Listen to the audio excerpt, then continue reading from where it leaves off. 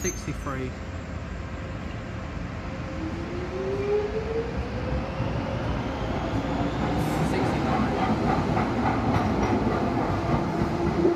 Going to Woolwich Arsenal. The next stop is Stratford High Street.